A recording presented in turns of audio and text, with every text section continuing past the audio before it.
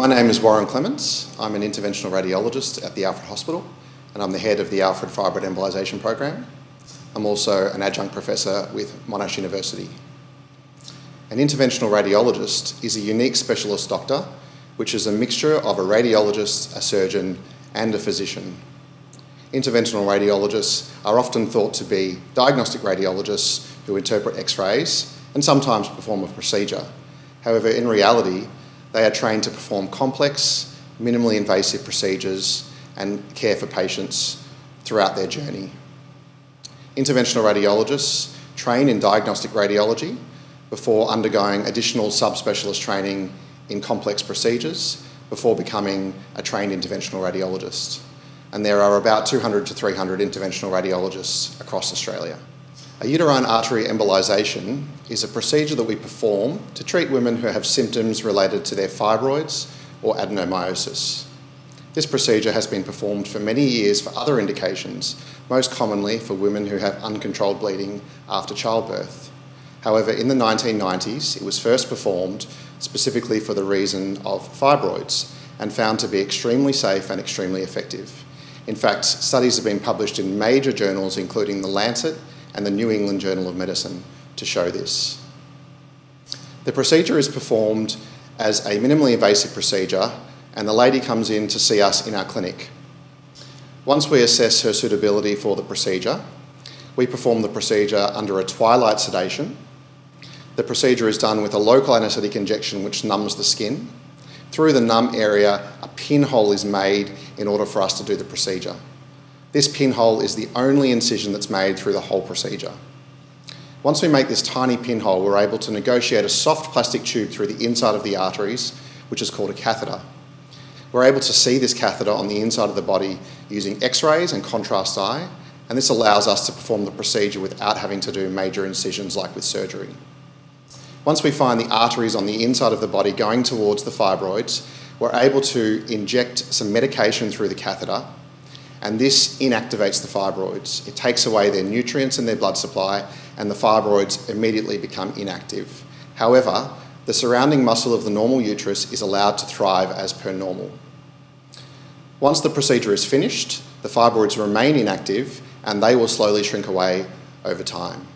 One of the many advantages of uterine artery embolisation is not only its minimally invasive nature, but the fact that it allows a woman to keep her uterus without it having to be removed. This is a very important point for many women, even if they've got very severe symptoms or very severe disease. They may not wish to have their uterus removed, and as such, this is a fantastic reason that uterine artery embolisation can be considered as an alternative to hysterectomy. There are many similarities and differences between this procedure and major surgery such as hysterectomy or myomectomy.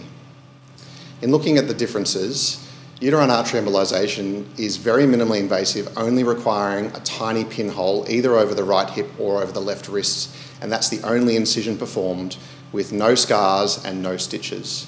This is quite different to hysterectomy, which requires much larger incision and therefore potential for visible scars. In addition, after a fibroid embolisation procedure, most women stay only overnight in hospital and are able to go home the following day, resuming normal activities. In fact, many women are suitable to go back to work within a week. This is in contrast to hysterectomy, which, due to its larger scars or larger wounds and uh, bigger operation, does require a few more days in hospital, usually three to five days. And most women do need a couple of weeks off work, which means more sick leave needed to be taken. However, there are also similarities between the procedures. And in fact, in assessing the major studies that have looked at how effective the procedures are, and looking at the quality of life improvements that are seen after women who've had hysterectomy and embolisation, even at five years after the procedure, the quality of life differences are the same between both procedures. So it's minimally invasive and yet as effective as a major surgical alternative. The main reason for there being a slow uptake with this procedure is most likely due to interventional radiology being a relatively invisible and young specialty in Australia and New Zealand compared to other specialties. Interventional radiology evolved from within the specialty of diagnostic radiology and is still young, only really being around for about 10 years. As a result, patients, general practitioners and other specialists sometimes don't know who we are or what we can offer. And this means that access for procedures such as fibroid embolisation can be limited for Australian patients. By improving awareness around interventional radiology and what we can do, including how it's very cost effective with short recovery times and getting people back to work sooner, we're able to improve access to procedures such as fibroid embolisation.